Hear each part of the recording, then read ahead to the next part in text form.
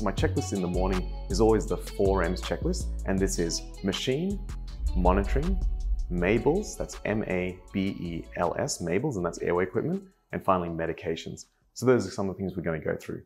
So let's start with the first M, and this is machine. So these fancy machines are really great. For example, usually in the morning, my nurses are fantastic. They already go through the integrated checklist and the full machine test that is automated. Back in the old days, you'd have to do it this manually, but these days on the new machines, you can literally press this button, full test, and then it goes through a full checklist. I might do that in another video.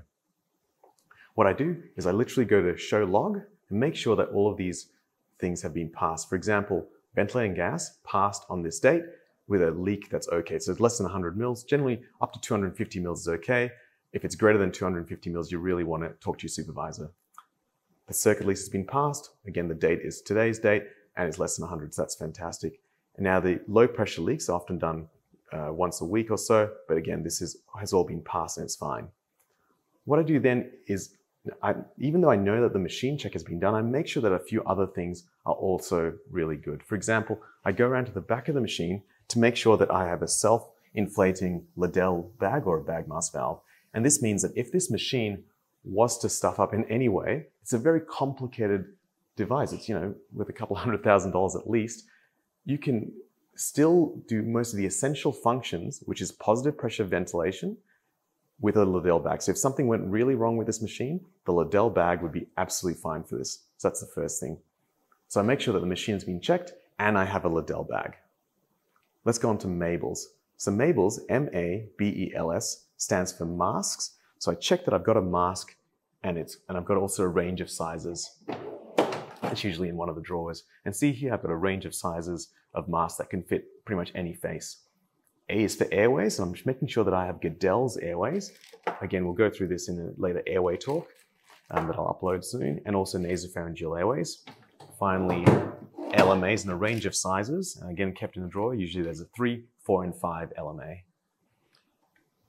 B is for bougie. Now this, you can get these really fancy bougies that look like this, or you can just get the normal ones, which look like this.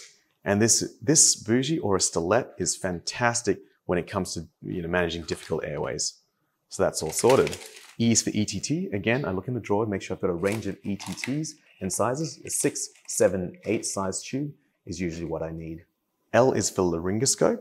And this device is absolutely essential, obviously, for, for intubating, to getting that airway exposure to put the tube down into the trachea. I make sure I have two laryngoscope blades, a size 3 and 4 Mac blade. I just make sure without touching the blade that this is working, you know, that the light is working, which you might be able to see through there, that it's working just fine. Again, I check both of these because you definitely want this to work when you need it and having the light out or the battery blown or the bulb blown is uh, you know, just a really difficult situation to deal with. Finally, suction. So I make sure that my suction is on maximum and then I just check through here that it's working. You can hear that sound. And if I was to put my hand on the end of that, it would show me that this suction was working because you'd feel some traction on the skin. Put that safely away. So that's Mabels, M-A-B-E-L-S. Next, I go to monitoring. So monitoring, this machine here has so many different measurements that it takes, especially with ventilator alarms and pressure alarms, apneic alarms.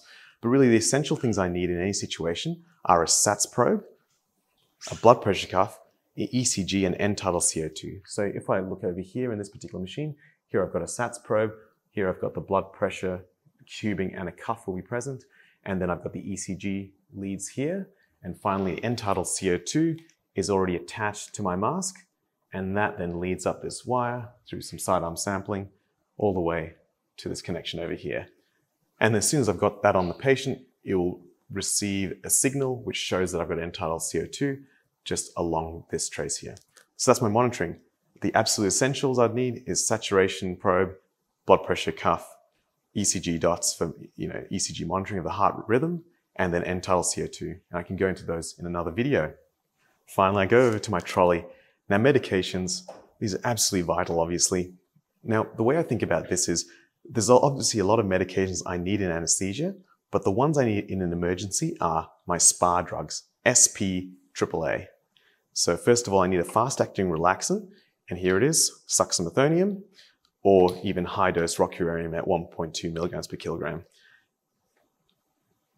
I need propofol, which is here, and then I need atropine, adrenaline, and aramine and ephedrine.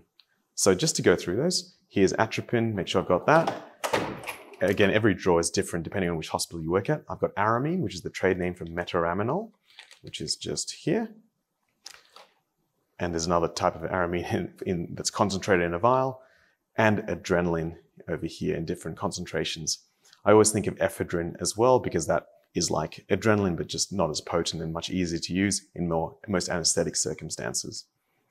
Now, those medications are obviously really important for a number of reasons. Now, the reason I chose my SPA drugs, or SUX, propofol, atropine, adrenaline, aramine, versus all the other drugs is because these drugs are so vital in the most emergent situations. For example, if a patient has laryngospasm or is fighting the ventilator or something serious happens, a rapid-acting muscle relaxant can really help an anesthetist solve those problems. Again, these drugs are not to be given by a junior junior practitioners or ones who are not experienced and should always be done with supervision. So a muscle relaxant absolutely vital uh, to solve a lot of your problems. P is for propofol. And again, propofol deepens the anesthetic, make sure that your patient is asleep and can treat all things like a patient moving as well as hypertension. And again, you'll see one of our medications videos which goes into that in a bit more detail. Now, often with anesthetics, especially in kids, hypoxemia can cause bradycardia and atropine's a solution for that. And there's a lot of different vagal type stimuluses that can happen during an operation, basal gyrus reflexes, vagal reflexes, and these can cause very severe bradycardias and even, even asystole. So having atropine ready to go is absolutely vital. Adrenaline is probably the most common sense emergency drug you need because any time a patient is close to rest, peri-arrest, or even arrest, you need to give that dose. It's a treatment for arrest, it's a treatment for peri-arrest, it's a treatment for venodilation, vasodilation, as well as poor contractility. And adrenaline is a fantastic treatment for anaphylaxis, increasing that central blood volume distribution through vasoconstriction, but also inhibiting mast cells that degranulate all that histamine everywhere. Finally, aramine and ephedrine. These are the most common medications that you use on a day-to-day basis after the induction of anesthesia, because as we know, giving propofol, and another drug for induction, causes venodilation and vasodilation, and the easiest thing to do there is give it a small dose of aramine or metaraminol, and that just tightens the veins and the arteries to improve your perfusion. Likewise, occasionally, sometimes your patient just doesn't have great contractility. Maybe you've, you've given some medications, some beta blockers, or maybe the induction itself has caused the heart just not, just not to function as well. Now, there's some occasions where you need to use ephedrine. Now, ephedrine has more you know, inotropy and beta effects than alpha effects, so whereas aramine or metaraminol does veno and vasoconstriction, ephedrine does a bit of venoconstriction and vasoconstriction, but also is a positive inotrope. And that's absolutely fantastic when you have a patient who might not have a very good heart. Maybe they've got poor contractility or poor ejection fraction, or you've given a bit too much anesthetic and you just need to improve the heart function. So aramine and ephedrine, really, really commonly used and very important drugs in this situation. So obviously there's a lot of other medications that you need for an anesthetic, but these are the absolute vital ones that you need. So hopefully that's helped. We've gone through your overall preparation, which is your four M's, and that's Mabel's, machine, medications, and monitoring. So I hope you enjoyed this video. If you have any questions, please ask them in the comments below, and I'll see you guys next time. Thanks very much.